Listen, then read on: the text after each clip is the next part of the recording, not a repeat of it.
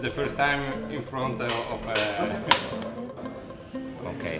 What brings me joy is um, when I can mold with my hands and specific form that I have in mind and um, finally I can see it realized uh, starting from an iron pipe for example and moving to the um, backrest and jointing together these parts you can see your idea translate into the reality so it uh, makes me really happy because uh, I see my project done and uh, born in something uh, that you can touch and feel in your hands.